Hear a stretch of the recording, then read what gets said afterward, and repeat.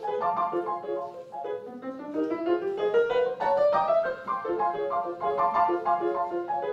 you.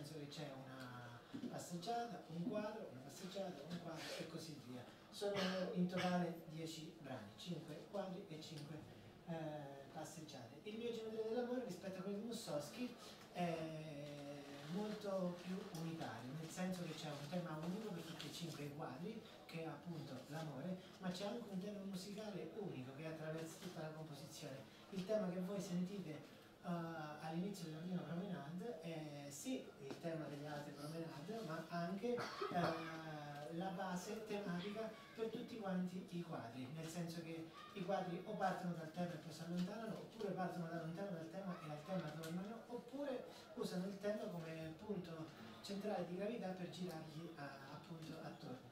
Come mai il titolo Geometrie dell'amore? Ah non ho fatto una piccola premessa, per chi non conosce i miei concerti eh, sappiate che l'esecuzione è già cominciata, comincia nel momento in cui io comincio a spiegare la, la, la mia musica, è una cosa che io ho imparato di riflesso al pubblico che mi ha detto eh, la, la, tua musica senza le tue presentazioni non sarebbe la stessa cosa. Uh, quindi come mai ho scelto il titolo Geometrie dell'amore? Allora, uh, prima di tutto perché il soggetto di ognuno dei miei quadri è una forma geometrica, una forma geometrica che però viene uh, vissuta come un velo. Uno toglie il velo della cosa che si vede subito e dietro al velo uh, scorge un indizio del motore che, che, muove tutto l'universo, che è appunto uh, l'amore.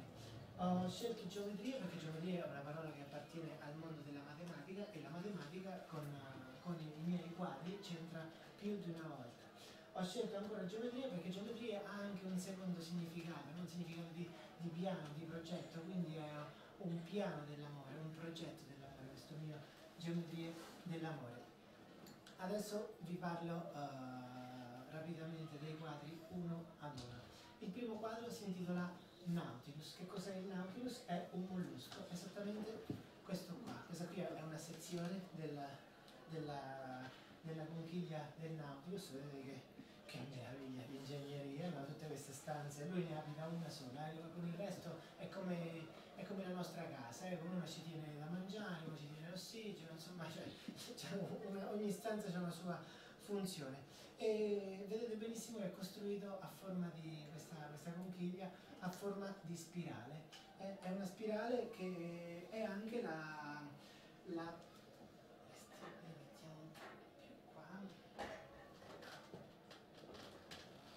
la stessa forma che hanno uh, assunto i bracci di stelle della, il raggruppamento di stelle della, della, della, nostra galassia, della Via Lattea. No? Qui parliamo di miliardi di corpi celesti, non è una forma, eh, non è un corpo, miliardi di corpi celesti che in uno spazio infinito si sono disposti a braccio di spirale. Pensate voi, che collegamento c'è fra un mollusco che vive in fondo all'oceano e questa struttura così grande che sta lassù, ah, anche nessuna.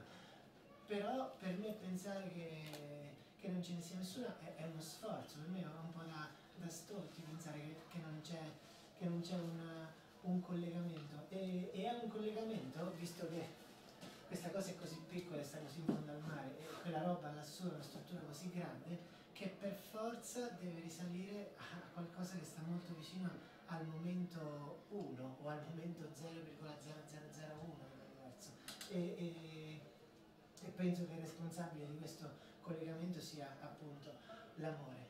Uh, per simboleggiare la, la, spirale in questo quadro il tema sono le stesse note che avete sentito nella promenade ma con uh, il tema si fiorisce con, con, tutte le note che girano attorno appunto alle, alle note del, del tema. Secondo quadro si intitola Stalattiti e Stalagmiti, eh, esattamente queste che vedete qui. Questa è una fotografia meravigliosa della grotta di Frasassi, è stato proprio dentro la grotta di Frasassi, guardando queste stalattiti, che ho capito che stavo scrivendo Geometria dell'amore.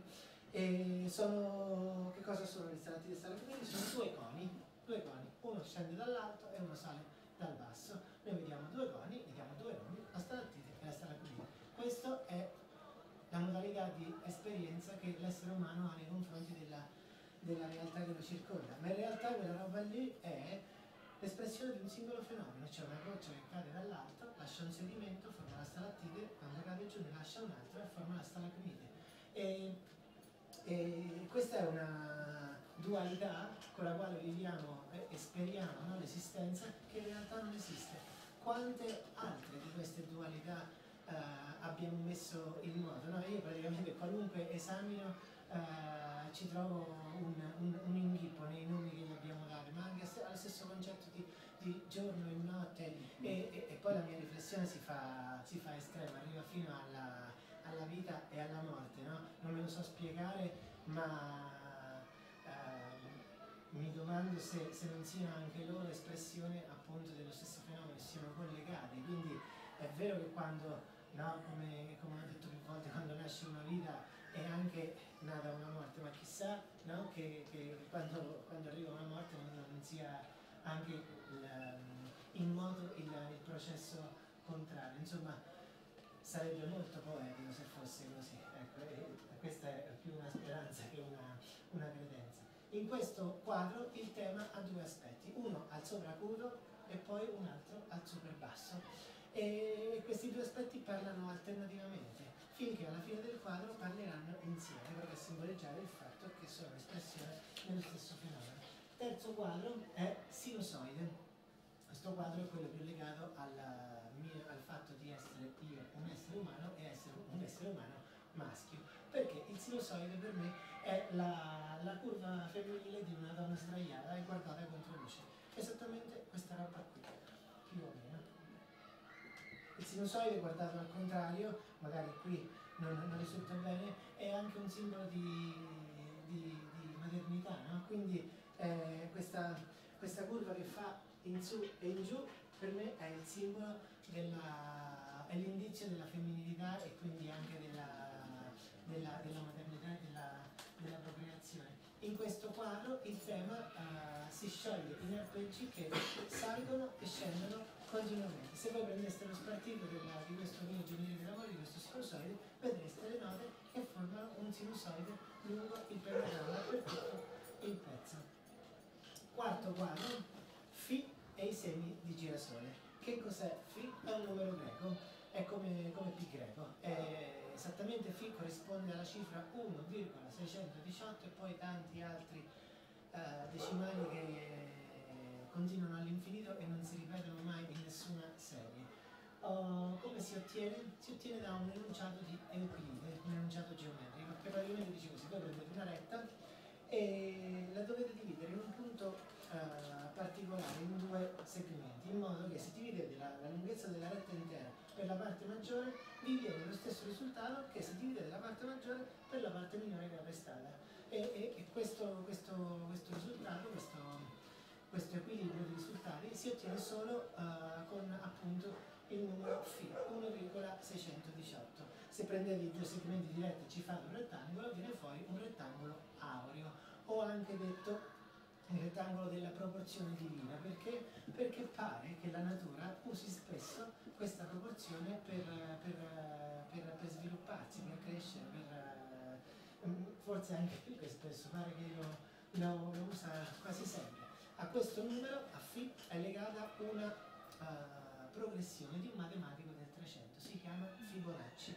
Come si costruisce questa progressione? Che lui ha ideato per risolvere un problema riguardante la fertilità dei conigli, ma poi si è scoperto che c'erano delle implicazioni grandissime. Praticamente ogni numero nuovo della progressione si ottiene sommando i due precedenti. Partiamo 1 è 1 più niente, perché non c'è niente prima, viene di nuovo 1. Quindi adesso 1 più 1, 2, e lo mettiamo qui, 2 più 1, 3, e lo mettiamo qui, 3 più 2, 5, lo mettiamo qui, 8, 13, 21, 34, 55, 89, eccetera, eccetera. Oh, che c'entra questa progressione con φ? Si è scoperto che se voi prendete un numero della serie e lo dividete per quello che lo precede, mano a mano che avanzate nella serie ottenete un numero che si avvicina sempre di più a φ, a 1,618. In pratica già quando fate 89 diviso 55 uh, ottenete 1,618. Quindi i numeri nella progressione di Fibonacci sono uh, in, uh, in relazione, in proporzione divina. oh, che c'entra tutta questa roba con la musica, eh, con la natura e con la matematica? Eh, ecco, guardate, questo è un girasole. E qui non, non vedevo a tirare l'occhio io per farvi vedere che i semi qua in mezzo sono disposti a bracci di spirale. E ogni seme, se voi lo considerate, le spirali le considerate in un verso o nell'altro, fa parte di due spirali, di due bracci di spirale. E se vi mettete a contare i semi, questa è la roba che mi fa venire i brividi tutte le volte, trovate sempre due cifre consecutive della progressione di Fibonacci. Quindi i semi nel girasole sono disposti in eh, proporzione divina, seguendo appunto la, la progressione di, di, di Fibonacci. Uh, lo fa solo lui, ma che lo fanno anche i petali delle rose, crescendo attorno al centro del fiore eh, si dispongono in proporzione aurea, lo fanno le foglie lungo il, il ramo, no? non, non, le vedete mai crescere tutte da una parte o con regolarità, no, si, praticamente nascono lungo il ramo in, in senso circolare, no?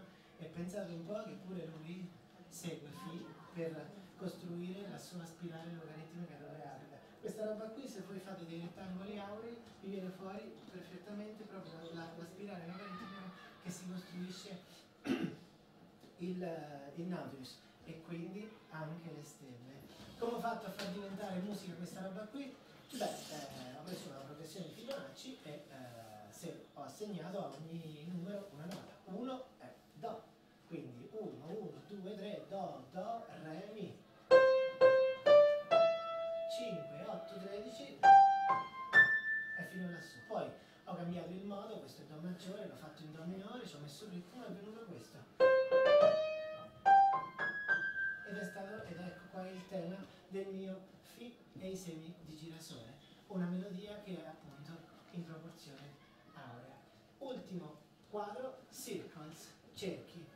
Eh, la mia mostra di quadri è, è, è un cammino, no? È un cammino verso, verso l'amore.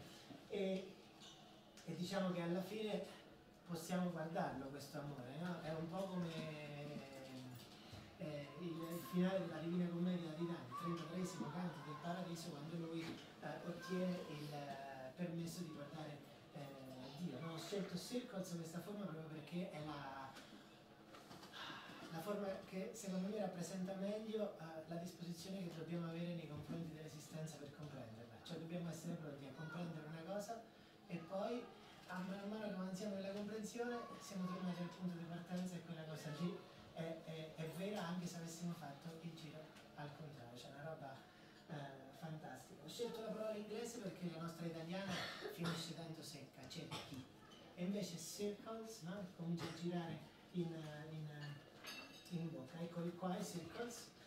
Io ho fatto il percorso opposto di Mossowski.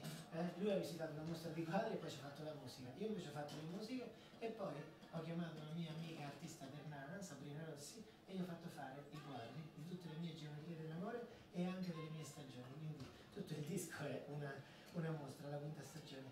E lei qua ha disegnato tre cerchi. Come mai tre? Perché sono proprio quelli che vede Dante. Eh? Ottiene il permesso di guardare Dio e allora ce lo descrive in quel canto per tre volte, lo fa e la prima volta dice così. Nella profonda sussistenza dell'alto lume parvemi tre giri di tre colori ed una contenenza. E l'un dall'altro, come ivi da ivi, pare a riflesso, e il terzo pare a fuoco, che quinci e quindi ugualmente si spiri. Mi perdoni il son poeta se posso pronunciare i suoi, meglio se suoni, eh, ho capito. Va bene, allora quindi ci sono questi tre cerchi. Come ho fatto a simboleggiare il cerchio in musica? Ho usato i due numeri che voi potete usare nel ritmo. Eh? In musica c'è il 3 e il 2, potete suddividere in 3 e potete suddividere in 2. E, e per creare una forma circolare li ho uniti. Il minimo comune multiplo è 6. Quindi il tema di questo, di questo quadro è costruito con dei gruppi da 6 note, solo che la sinistra fa tre gruppi da 2 e la destra fa due gruppi da 3 e si sente questa, questa circolarità eh, il tema è ripetuto tre volte su tre tonalità diverse che per noi musicisti sono proprio tre colori. E, allora, eccoli qua. Una volta che li abbiamo visti uh, siamo pronti per la, come dicevo prima, un cammino fino a che non si può finalmente guardare l'amore. Una volta che li abbiamo visti siamo pronti per, per, per, per guardare l'amore. Per guardare l'amore bisogna essere completamente puri. E qui ho usato un procedimento insegnatomi da, dal maestro delle vigne, nel senso che lui mi diceva, insegnandomi quando, quando facevamo, lavoravamo i brani di Chopin, diceva che tutte le volte che Chopin aveva uh, bisogno di purezza nella sua musica, ricorreva al contrappunto, ricorreva a Bach. Allora pure io ho preso il tema della promenade, della prima, del, del tema di tutti uguali, e l'ho fatto diventare lo spunto per un piccolissimo fugato che poi si scioglie nella visione estatica finale. E questa è la presentazione di Femminile dell'amore e adesso vi parlo